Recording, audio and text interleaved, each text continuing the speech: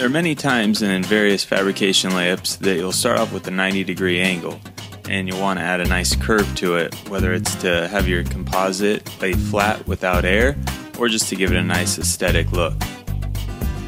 Over the years, it's been the norm to just get your resin mixture and filler together and slop it out of the bucket and try and spread it into the corner with your spreader. This tends to leave a lot of mess, use a lot of material, and waste a lot of material as well. We're not going to do it that way. What you'll need is your spreader, sandpaper, resin, catalyst, filler, bucket, brush, stir stick, plastic bag, and pair of scissors. We're going to start off by using our sandpaper to just sand around the area that we're going to be filling and adding the curve to. All we're basically doing is removing any dust, dirt, grime, gunk, oils, anything that's going to inhibit a nice solid bond.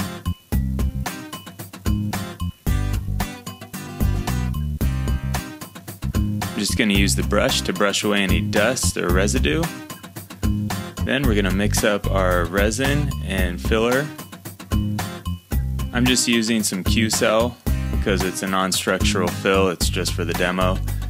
Any of the fillers can be used for whatever various situation you're going to be doing. I'm to mix it up to the thickness that you desire. Just add a few drops of catalyst. We don't want to over catalyze it because it will be inside of the bag and we don't want it to go off prematurely. I did use the UV Cure resin just because that's what I had. So there's you don't need to use it. You can use any type of our resins. You can use our marine resin, standard laminating resin, or the UV Cures if you'd like, and add catalyst to it. Next step is to just basically get the mixture out of the bucket and into the bag as quickly as possible.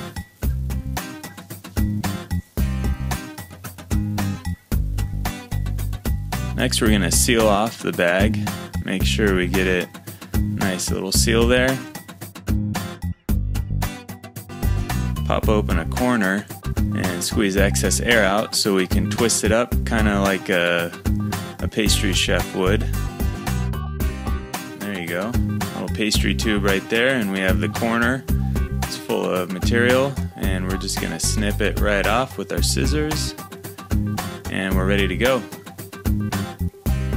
All we're gonna do is apply even pressure at an even speed along that little corner there, and there it is. It's that simple. And we're gonna take the top corner of our spreader that's rounded and use that to create the nice even curve.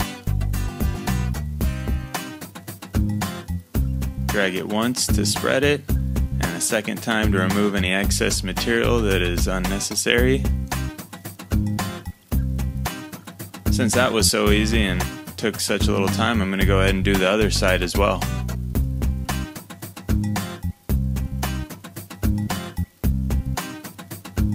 You can see it's a very simple process that's really, really helpful in saving material and time and cleanup.